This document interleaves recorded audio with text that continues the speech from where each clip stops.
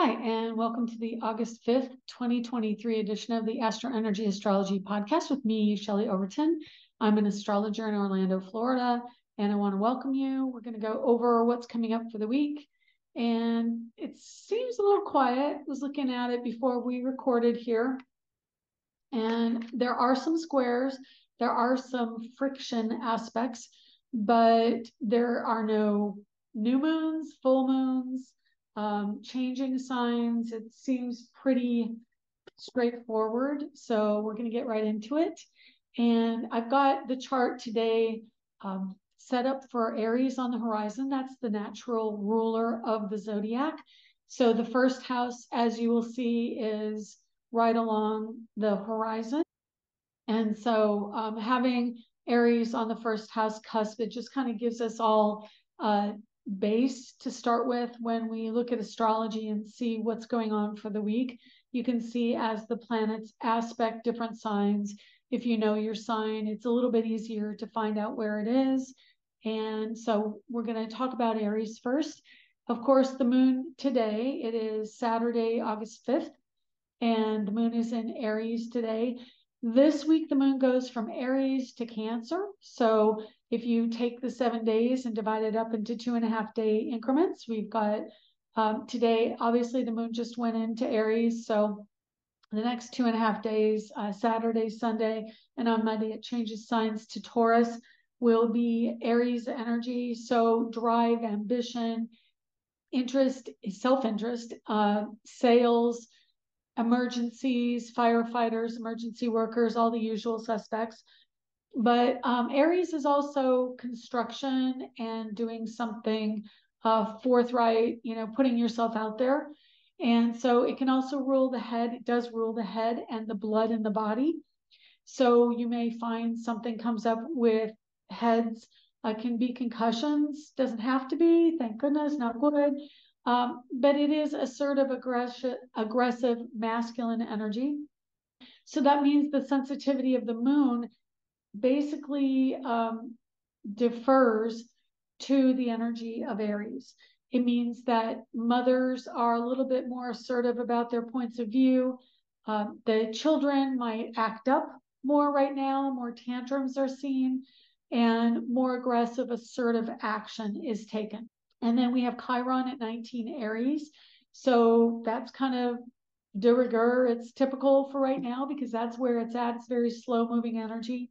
Uh, Chiron in Aries is showing us where we have been wounded in attracting masculine energy or the male archetype. It's also where we express our male archetype. So that is the storyline currently. You can attract people as a reflection of that energy where your wounding has taken place, or you may express it to other people. And then VX on this chart is just the vortex, vertex, excuse me, vertex. It is just a point in the sky. Um, so the vertex is a point where on the earth, there is a vertical line going around, and there's also like an equator line. And the vertex is a point where those two lines meet in the rotation of the earth. So it's apparently hotly debated, but and that's a general understanding of the energy. So it is considered a point, this is off the web.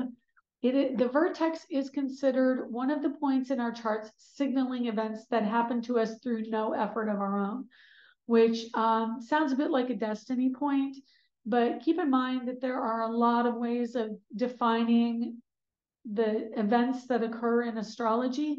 And this is just one of those where, you know, I mean, as for instance, the Arabic parts. Um, that's a way of defining differentiation between the position of two planets when you split them, kind of like a midpoint, or there are mathematical compositions to get to an Arabic part. It's pretty involved. I'm not going to get into it now, but that's a, a rough estimation of what it is. And so uh, the expression of this energy of the vertex is what happens to us through no effort of our own but it is a point in the sky where you get a crossing of uh, longitude and latitudinal points. Okay, so anyway, that's in Aries right now, and that's where the energy is expressed in our lives through no effort of our own. The North Node, 27 Aries, exactly on the vertex. So the North Node, and again, that's also a point where uh, the moon crosses the equator or the ecliptic. You know, of course, the Earth is not exactly sitting in the sky upright. So it's at an angle. So anyway, that's what that is. And then the North Node at 27 Aries is where we feel a little bit uncomfortable moving towards something, but, and then the siren just happened, which is also an Aries energy. Um, I do live very close to a lot of emergency vehicles going by. There's a police station and a fire station not close, not far from me. So you'll hear that quite a bit. Anyway, um, yeah, so those energies are really showing up right now and today with what's going on. And it just brings forth the energy of Aries, masculine energy, drive, and all the things I've listed uh, to our awareness. And so we are expressing uh, the energy of those, uh, the Aries energy within the different um, areas of our lives. Moon is home and family, could be children. Uh, Chiron is our wounding. Vertex is, again, something that happens without our express input. And then uh, fortunate, it can be fortunate. And then North Node is very fortunate. So the Vertex and the North Node are really positive forward momentum energies that are coming in in an individual sense. Aries is very, it is it is a commitment, positive energy, but it does act very in its own energy, in its ego, because the first house is the ego. It is the personality. So it is putting forth energy from spirit and the divine into the sense of self.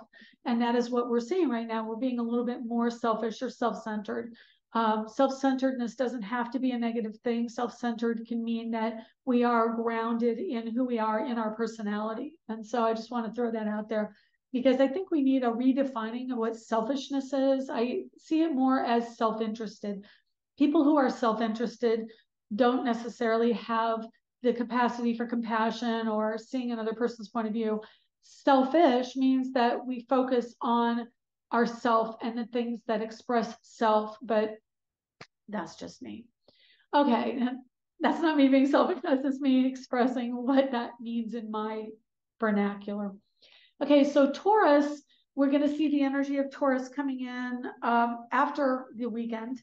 The moon moves into Taurus at 2:25 a.m. Eastern on Monday and uh, 11:25 11, 11:25 p.m. Pacific. So we'll see that energy going on. Uh, Jupiter still in Taurus. Jupiter doesn't retrograde until a little ways down the way. Uh, let's see. Jupiter retrogrades on the 3rd of September. And so we're not going to really have um, that energy hit us for another month, but we are going to be entering the Jupiter shadow period. And that just means that, of course, Jupiter's expansion, Jupiter retrograde can be contraction, more like Saturn energy owning this. Uh, Jupiter in Taurus, great expansion of money, more awareness of money. Uh, because Uranus is also in Taurus, there is technological shifts around money, uh, visas, point of sale purchases on technology and electronics. It was really interesting. I went into Target this week and I was met with a woman at the entrance saying basically, if you didn't, if you were using a debit card, there was no ability to purchase on a debit because there was a system wide uh, outage for that time and it lasted a couple hours that you couldn't purchase on that particular card. And it was the full moon in Aquarius. So I'm like, oh, full moon in Aquarius, there you go. It's a national thing, it's a global thing, it's a broad ranging technological outage. But Uranus is also direct still. Jupiter is getting ready to go retrograde in a month. So we will see over the course of August the expansion of glitches and technology because Jupiter rules foreigners and foreign currency. This could mean that markets, uh, global markets, are going to have something going on later in the month. But as Jupiter is still direct, it is an expansion of communication with other countries about currency it is also love involving people of foreign culture because Jupiter is foreign, foreign culture, foreign people. Um, it could be in any country, they will be a foreigner to your country. And it can also include travel because the two are kind of married, foreigners and travel. So it's an expansion of travel. I found out um, this week that I will be traveling in September. Very excited about that. I'll be going to Michigan, Chicago, and Connecticut. So it's going to be a really lovely time of year to go late September. I'll get to see the fall leaves and experience some of the chill in the air. I'm very happy about that as I love change of seasons. Taurus, Jupiter, and Uranus are very much expanding our awareness around what it means to have freedom within a love connection, especially because Jupiter rules Sag and Uranus rules, or yeah, Uranus rules Aquarius. Both signs are the most freedom loving signs of the zodiac. And Taurus means making it tangible, grounding it in. So it is about how can I express love and still feel the freedom to be myself and have that independent nature. Um, and then it's also about becoming independent around money and understanding the expression of currency and not being as bogged down by our finances and really learning how to detach from what traditional views Uranus, non traditional views of money are and value because Taurus rules value.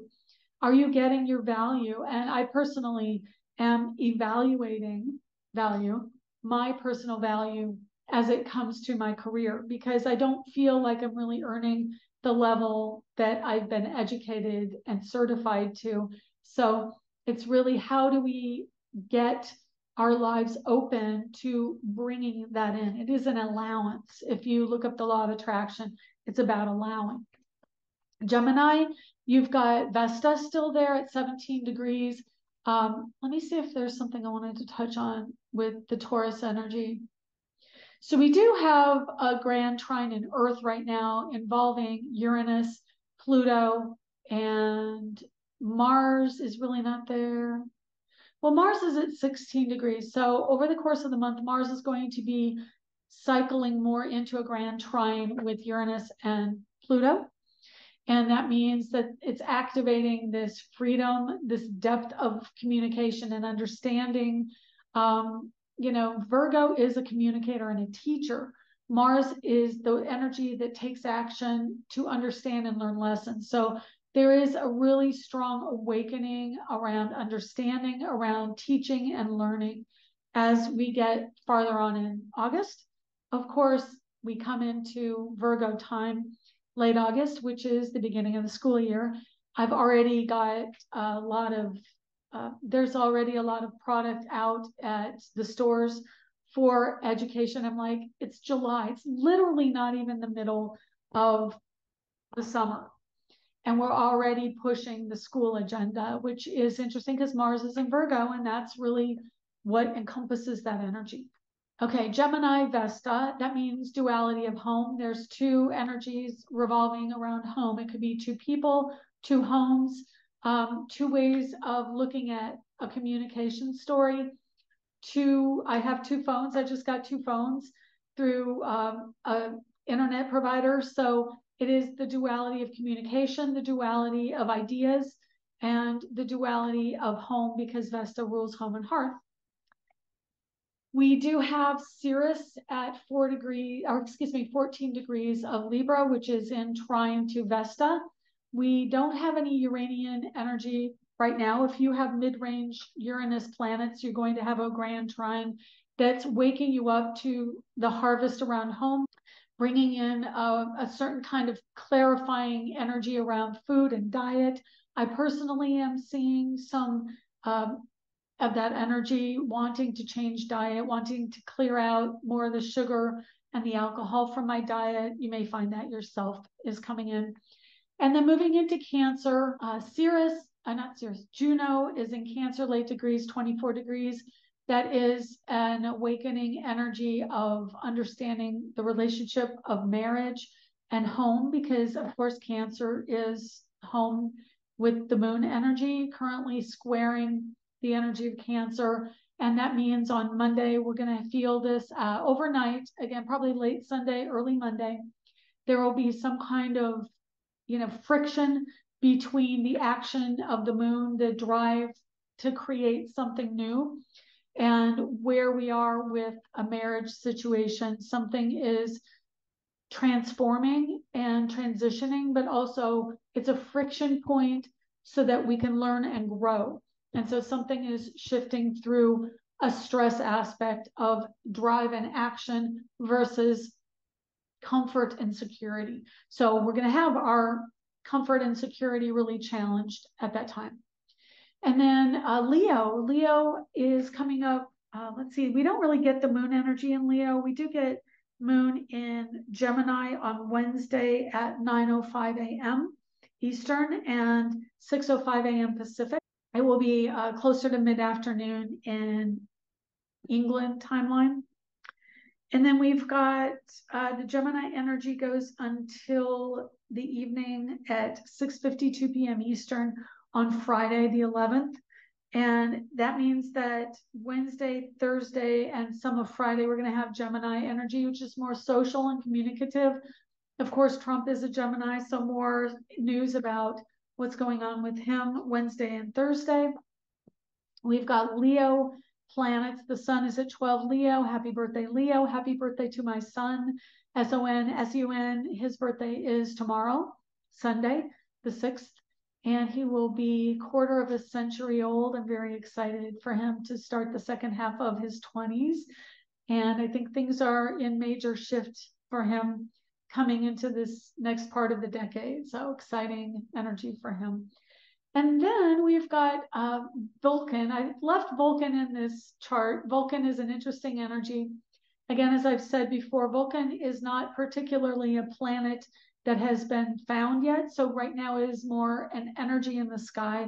Vulcan is the apparent planet that is out in the atmosphere, which is an anomaly astronomically. We haven't found it, but there is an astronomical anomaly, which is kind of hard to say, but that means that they think there is a planet there by the energy given off, but they can't find it yet. When they find it, uh, it has been said that it will be called Vulcan. And that, of course, is the energy similar to Virgo right now and very intellectual, very uh, emo- non emotional, and intellectually strong in Aries, in, blah, blah, blah, in Leo. And so we are going to see that energy express uh, in a detachment energy. It is interesting because it is retrograde, which means more Aquarian energy. In Leo, Leo retrograde is more of an Aquarian energy, which is a detached intellectual energy. So there is a certain amount of that intellectualization of the connection between two people, between the bond in friendship, in children, in creativity. We're intellectualizing our emotions and our, our bonds to other people. And Venus is at 25. Um, let's see, we have North Node at 27 Aries. We don't have any Sagittarius energy unless you have late degree Sagittarius. There is only a trine between Venus and the North Node. So that is bringing up a story of destiny between the Venusian energy of desire, goddess energy. What do we desire in love, in money, um, in value? And it is a time where we are changing the storyline. The North Node in Aries gives us the drive to do something about it. And then there's a sextile to the South Node in Libra. So Venus, goddess of love, value, uh, Libra, South Node is bringing up energy of the past. And because it is really an energy of shift and awareness, we are looking to the connection between two people in an, an emotional bond in a value sense, and then the positive past energy coming in for balance between relationships. Keep in mind, Libra is a triangulating energy. It's an air energy, which always has multiples of something. So for Libra, it is triangulation. And that means three of something. So three circumstances, three dynamic, um, you, me, and the other basically. It doesn't have to be someone else in the relationship, but usually it means there's a heavy influence of another person in the relationship. And then the North Node is wanting to find this situation where we're individuals expressing out the individuality and taking action towards something new and greater. It's a new beginning, but based on the value, the dynamic of two. So that's what that energy is showing me. Um, Virgo, we have Mercury at nine Virgo, of course, uh, moving closer and closer to the Virgo retrograde of Mercury. And that happens the 22nd ish of August. Mercury goes retrograde. So we are in the shadow period.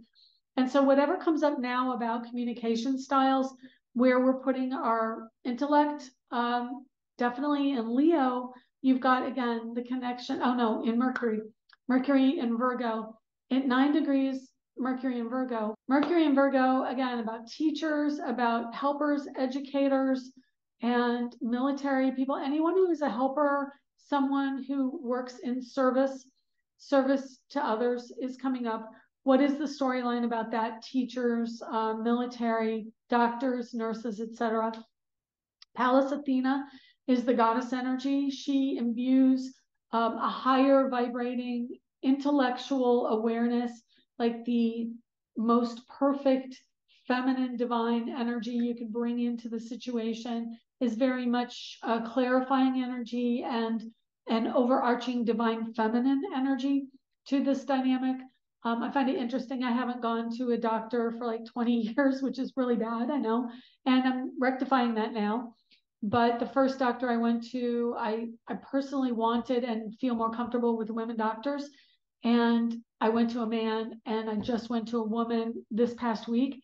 So it really does show that energetically in the astrology of the time. And I have four planets in Virgo. So it's showing that medical doctor energy is coming in as feminine, especially with Pallas Athena there. And then you have the masculine energy, also the Mars taking action. It could also mean that there is a doctor that you enjoy who has a sensitive nature who can really help you anyway, which is also a fair game. Um, but Mercury is understanding, bringing what you know to the situation and expressing the understanding in a logical sense. So that also plays into the energy right now. Um, Mars in Virgo, like we've discussed, is going to be about taking action. It could also be accidents. As we get into the last 10 degrees, there's more of a possibility of things not going the way you want. It's quick action that is unexpected because of that Mercury connection. Mercury is in Virgo, can be anything right now. And then, of course, with all the Aries energy, that those two are quincunx to each other, so they're not really cooperative. So just be a little bit extra cautious for the month of August and September with what you're doing with quick action, because if you take too quick of action, you will miss things and that can result in negative outcomes. As a Virgo and um, someone on the road, just just I'm slowing down and it's actually really good. I'm feeling really good getting in my car and just going, you know what, I'm gonna be more meditative and and just allow things to develop and not be so forthright and proactive because that's when you know things can go awry. And don't get so defensive, which can also be a Virgo trait. Really quickly, um, Libra Ceres, we've already discussed that. South Node in Libra, we've discussed that. So Librans, you're going to have that um, axis of Aries Libra, and it'll be about balance, but also balancing the cooperation in a relationship with a sense of self, which can sometimes get lost for Librans. Libra tends to be much more of the I will give up myself for the cooperation of the better good and the higher good of the collective. You're not doing that as much right now, and for the next year and a half with this energy coming in. Scorpio, um, your ruling planet late Capricorn, it means that you are shoring up the structure of what you want to go towards. You are having to really face the structure and get real with always being in the emotion. And maybe now we're a little bit more practical, a little bit more shored up in the intellectual or the at least responsible, not necessarily intellectual as much as um, following through with what you know you have to do and not procrastinating as much. Sagittarius, no planets there right now, but the fire energy is really strong for you with the Leo, Venus, Sun, and Chiron in Aries with the North Node. So you're really feeling the triangulation, the trine energy from doing things, you know, that going out there and taking the action, as well as really paying attention to your value and the creative side of your nature, balancing it. You may have some travel coming up with Jupiter and Taurus for money. Capricorn, Pluto and Capricorn, story has been going on for um, uh, what, 17 years? So, yeah, I bet you're tired of it, but it is wrapping it up. It's wrapping the energy up towards the fall. So know that the stress aspects are going to be relieving a bit more as we get closer to fall and, you know, when Pluto goes direct. And then finally, we've got Aquarius. Nothing going on for you right now. It's a little bit of a breather because you're going to be really lit up with Pluto and Aquarius next year and until 2026. So Saturn, Saturn, Neptune, and Pisces, retrograde, both of them. It is, again, more practical, uh, rose colored glasses off right now. And then the energy of uh, Taurus is actually really positive for you because Jupiter is a co-ruler of Pisces and that's really understanding the dynamic of money and maybe you're a little forgetful right now. I know my daughter is strong Pisces Mercury and she's been really kind of distractible right now. That's kind of your thing right now as well. Okay, um, that's really the week. I think that there are a few aspects coming up that I want to touch on. One is Venus square Neptune on Wednesday that's going to be a little bit emotional, maybe not feeling yourself. You might want to go and uh, get away from the collective a little bit at that time. Mars quincunx to Chiron on Friday of next week.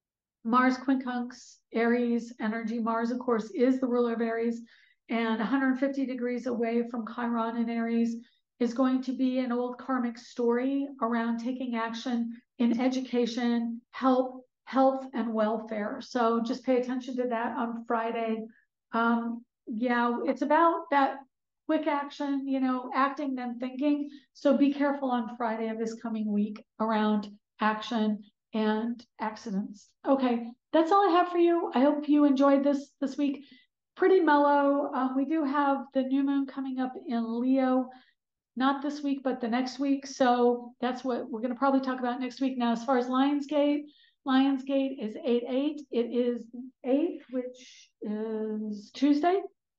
And you can do your affirmations for the Leo energy, again, around value, creating money, creating value, creating.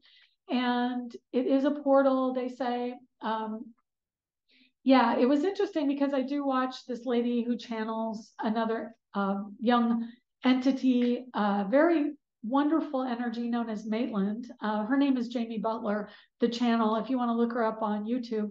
And Maitland was talking about Lionsgate.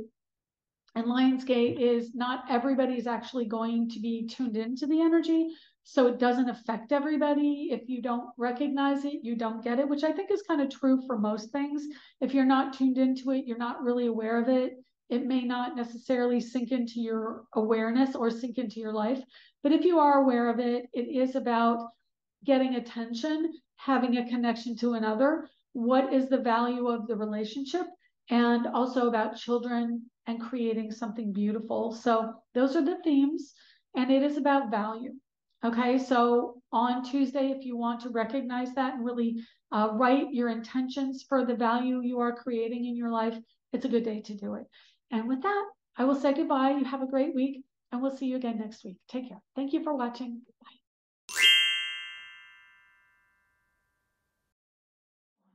That's a really poor explanation. Hi, this is Shelley. Thank you for joining us this week. To contact me for a private reading, go to angeliczodiac.com under the Readings tab. To purchase my ebook, Learn Astrology, you can find it at angeliczodiac.com. Background music was provided by Kevin MacLeod at incompetech.com. Be sure to check back next week and subscribe through iTunes at Astro Energy Astrology Show.